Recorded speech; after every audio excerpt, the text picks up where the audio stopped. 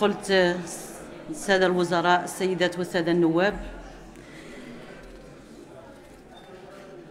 طبقا للفصل 100 من الدستور وعملا بمقتضيات النظام الداخلي لمجلسنا الموقر نخصص هذه الجلسة للأسئلة الشفهية المتعلقة بمراقبة العمل الحكومي.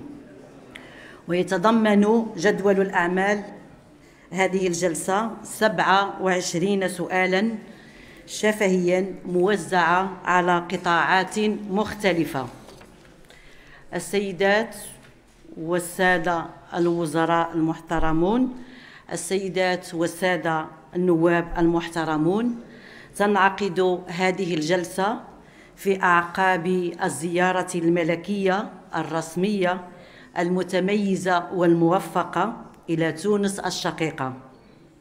وهي مناسبة نستحضر من خلالها باعتزاز كبير نتائج هذه الزيارة وأهدافها والأجواء الأخوية المتينة التي عرفتها مختلف مراحلها والتي جاءت لتعكس عمق الروابط التاريخية بين الشعبين الشقيقين وتطابق وجهات النظر حول الأهداف المشتركة وبهذه المناسبة نجدد كممثلات وممثلين للأمة انخراطنا القوي في كل المبادرات الملكية الهادفة إلى بناء اتحاد مغاربي يحقق طموح الشعوب المغاربية.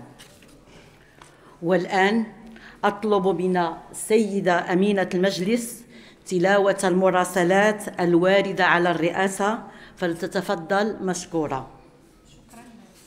شكرا. بسم الله الرحمن الرحيم. توصل مجلس النواب بمقترحي قانون تقدم بهما السيدات والسادة النواب من الفريق الاستقلالي للوحدة والتعادلية ويتعلق الأمر به مقترح قانون يتعلق بمجلس الجالية في الخارج. مقترح قانون يتعلق بالعفو العام عن الأشخاص المحكوم عليهم والمتابعين في جرائم زراعة الكيف. كما توصل المجلس كذلك بقرار المجلس الدستوري رقم 937 14 بشأن إحالة القانون رقم 115 13 من قبل 41 عضوا بمجلس المستشارين والقاضي برفض الطلب. كما توصلت الرئاسة بوزارة بمراسلة من الوزارة المكلفة بالعلاقات مع البرلمان والمجتمع المدني بشأن تقديم السؤال للسيد وزير التعمير وإعداد التراب الوطني. تقديم السؤال الشفوي الوحيد المدرج في جدول أعمال هذه الجلسة في بداية الجلسة. كما توصلت الرئاسة بطلب من من وزارة المكلفة بالعلاقات مع البرلمان والمجتمع المدني بشأن طلب السيدة وزيرة التضامن والمرأة والأسرة والتنمية الاجتماعية بإدراج الأسئلة الشفهية الموجهة إليها والمدرجة في جدول أعمال جلسة يوم الثلاثاء في آخر الجلسة. كما توصلت الرئاسة بمراسلة من الوزارة المكلفة بالعلاقات مع البرلمان والمجتمع المدني في شأن التحدث في موضوع عام وطارئ. ففي إطار مقتضيات المادة 104 من النظام الداخلي لمجلس النواب توصلت الحكومة بتذكير بسبع طلبات لتناول الكلمة في موضوع عام يستلزم إلقاء الضوء عليه وإخبار الرأي العام الوطني به. تم التوصل بها في جلسات سابقة وخمس طلبات تم التوصل بها يوم الاثنين 2 يونيو 2014 على الساعة الواحدة و35 دقيقة. وبما أن النظام الداخلي لمجلس النواب ينص على أنه تبرمج المواضيع الواردة في هذه الطلبات باتفاق مع الحكومة فإنه يشرفني أن أخبركم أن الحكومة مستعدة للتفاعل الإيجابي مع طلب فريق الأصالة والمعاصرة حول انتهاك المساطر القانونية والإدارية المتعلقة بانتقال الأساتذة من كلية إلى كلية أخرى. طلب فريق العدالة والتنمية حول التدخين في الأماكن العمومية طلب الفريق الاشتراكي والمتعلق بتزايد حالات التعذيب بمخافر الشرطة. طلب الفريق الحركي والمتعلق بمعاناة المواطنين مع قلة مراكز الفحص التقني للسيارات بسبب الشروط الصعبة لفتح هذه المراكز. لا سيما بالمناطق النائية والمناطق الحضرية الصغيرة والمناطق القروية بالإضافة للمشاكل المرتبطة بتحديد رخص السياقة. كما توصلت رئاسة المجلس بمجموعة من الأسئلة الكتابية والشفوية. 29 سؤالا شفويا و1207 سؤالا كتابيا و52 جوابا عن أسئلة كتابية. أما الأسئلة الكتابية المتبقات دون جواب فبلغ عددها 3403 سؤالا. وشكرا سيدة الرئيسة. شكرا. حضرات السيدات والسادة نشرع الآن في بسط الأسئلة الشفهية المدرجة بجدول أعمالنا ونستهلها بقطاع نقطة نظام عفوا.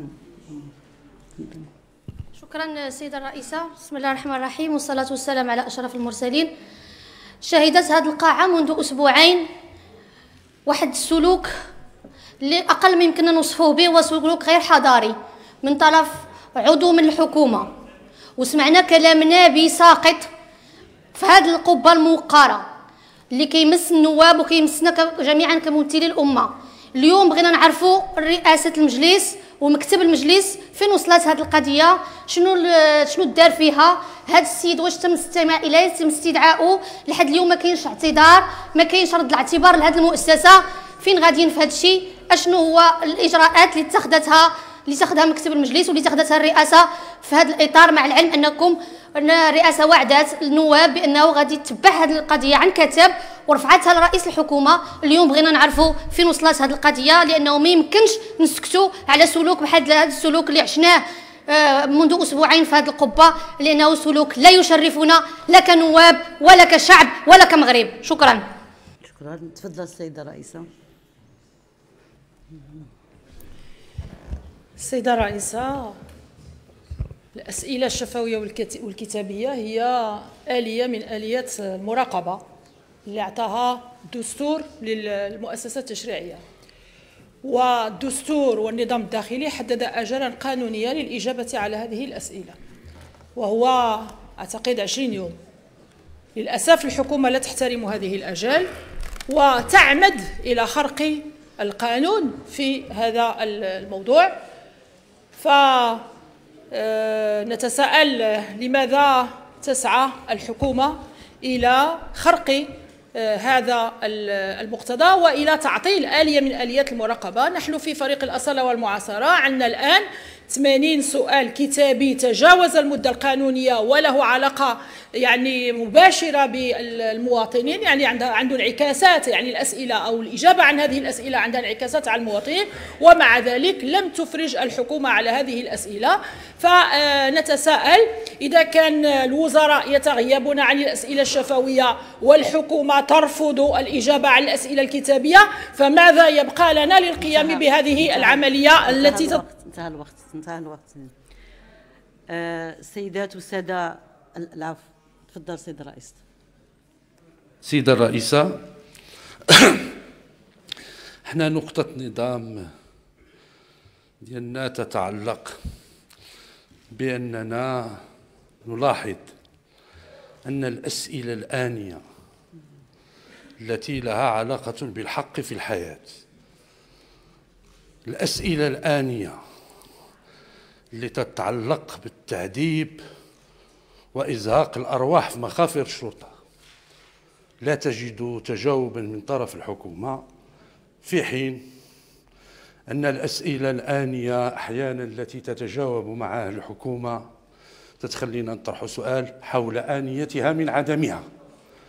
إذا لم تكن الآنية في أن مواطن من أجل بطاقة الهوية تزهق الروح ديالو.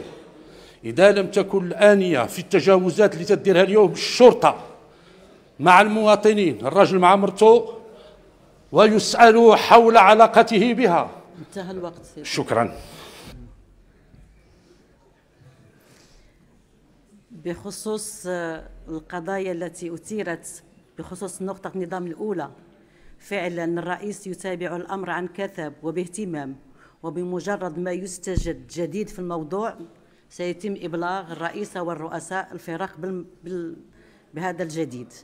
بالنسبة للآجال الأسئلة والأسئلة الآنية سأرفع الأمر إلى مكتب المجلس. وشكرا. إذا نبدأ جلسة الأسئلة.